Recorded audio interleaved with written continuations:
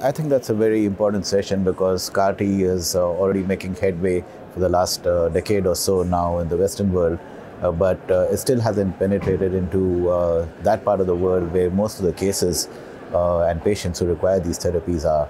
So I will be speaking on behalf of my country, where I, along with my colleagues, had led the first indigenously developed CAR T cell trial in India.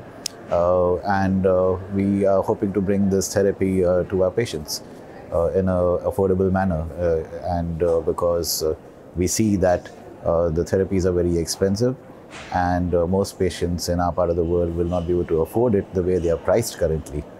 We are hoping to change that by developing our own and producing it there, manufacturing it there, and ultimately bringing it to commercialization in our own country.